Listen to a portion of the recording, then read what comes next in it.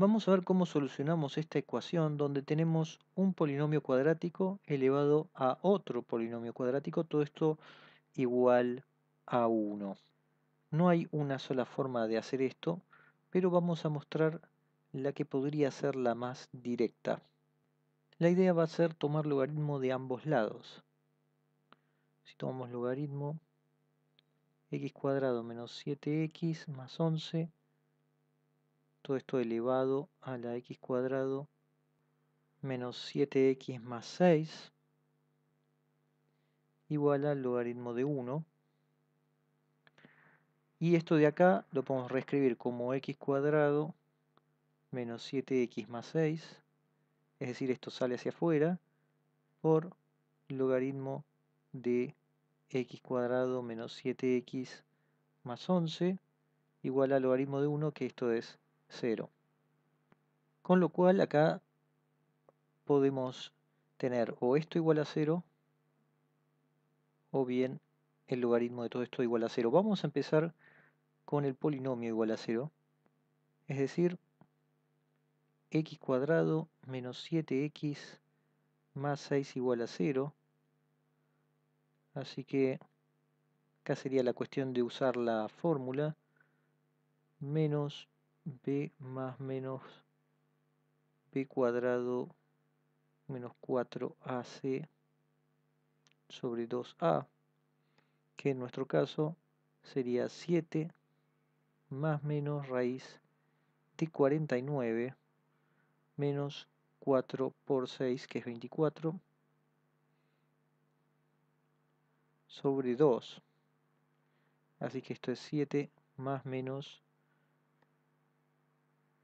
2 y 49 menos 24, esto es 25, es decir, 7 más menos 5 sobre 2. Por un lado tenemos 7 más 5, que es 12 sobre 2, 6, x igual 6, y por otro lado 7 menos 5, 2 sobre 2, que es 1. Así que solo de acá tendríamos x igual 1 y x igual 6. Ahora tendríamos que ir a la otra parte, el logaritmo de x cuadrado menos 7x más 11 igual a 0. Acá deberíamos elevar a la e para que nos quede lo de adentro, módulo de x cuadrado menos 7x más 11, y a la 0 que es 1. Ahora, si todo esto, módulo de todo esto es igual a 1, es lo mismo que, que lo que tenemos adentro de tanto 1, o también podría dar menos 1, que el módulo va a dar 1. Así que acá tenemos dos cuadráticas a resolver, x cuadrado menos 7x más 11 igual a 1 sería 1. Es decir, podemos directamente poner restando ese 1, que acá hay un 10, igual a 0. Entonces, como nos queda la fórmula cuadrática, sería 7 más menos 49 menos 4 eh, por 10, 2, nos queda 7 más menos raíz de 9, 3, sobre 2. Acá nos va a quedar por un lado x igual 10 sobre 2, 5. Y por otro lado tenemos 4 dividido 2 que es 2. Esto por un lado. Después tenemos que resolver x cuadrado menos 7x más 11 menos 1 que sería acá un 12. Y esto igual a 0. En la fórmula cuadrática nos quedaría 7 más menos raíz de 49 menos 4 por 12 y abajo un 2. Esto sería 7 más menos y acá tendríamos 48, 49 menos 48 que es 1 dividido 2, tendríamos entonces 8 dividido 2x igual 4 por un lado y 6 dividido 2x igual 3. Por lo tanto tenemos estas otras cuatro soluciones. Nos estarían quedando de acá, primero x igual 5, x igual 2, y por otro lado x igual 4, x igual 3. Es decir que nos están quedando 6 soluciones. Analicemos primero estas dos soluciones que vienen del exponente. Es decir, es cuando hacen 0 esto de acá. Por lo tanto uno esperaría que esto sea 1, pero habría que ver que esto no sea 0. Y efectivamente, si evaluamos en 1, nos va a quedar 1 menos 7 más 11, que no es 0. Y en 6 tendríamos 36 menos 7 por 6 más 11, que tampoco es 0. Por lo tanto, estas dos soluciones van bien. ¿Qué pasa con cualquiera de estas? Tomemos una nada más para tomar de ejemplo. x igual 2. Tendríamos 4 menos 7 por 2, 14, más 11, elevado a 4 menos 14, más 6. ¿Qué nos está dando? Bueno, lo que nos queda acá es 11 más 4, que es 15, menos 14 es 1, elevado a las menos 4, pues esto es 10 menos 14, es decir, 1. Entonces lo que tiene que estar pasando es que nos está dando la base igual a 1. Chequemos con el 3, ¿qué nos queda? Nos quedaría 9 menos 7 por 3 más 11. En este caso nos está quedando menos 1. Pero elevado a qué? Elevado a la menos 6. ¿Esto qué significa?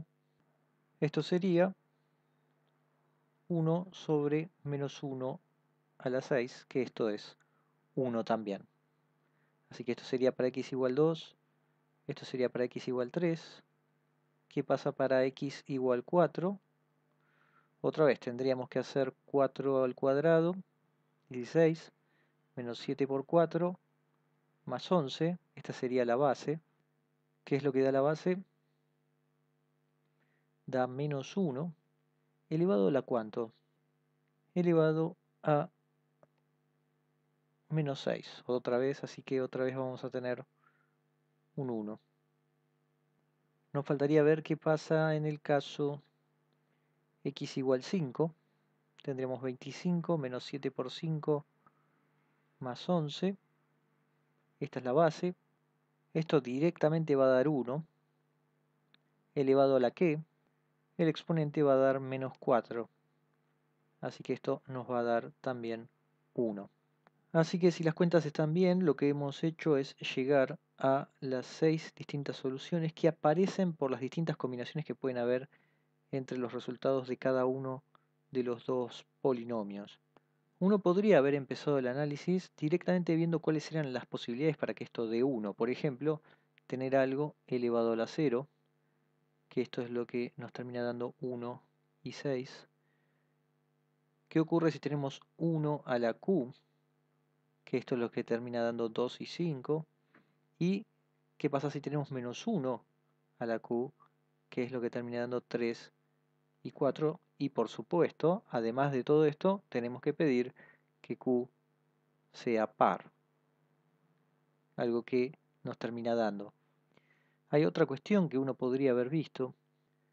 Es que si nosotros chequeamos la ecuación, que era x cuadrado menos 7x más 11 elevado a x cuadrado menos 7x más 6 igual a 1, uno podría reescribir esto de una forma más sencilla, que es a elevado a la a menos 5 igual a 1.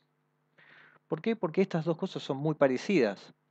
Estamos llamando a a x cuadrado menos 7x más 11 y por supuesto si le restamos 5 nos va a quedar lo que tenemos arriba. Y esta ecuación de acá en reales también se puede reescribir como a a la a igual a a a la quinta, simplemente pasando el a a la menos 5. Y en los reales nosotros tenemos tres soluciones. a puede ser 1 menos 1 o también 5, simplemente poniéndole a a esos números. Si uno empieza poniendo a igual 1, va a obtener x igual 2 y x igual 5. ¿Qué pasa si uno pone a igual menos 1?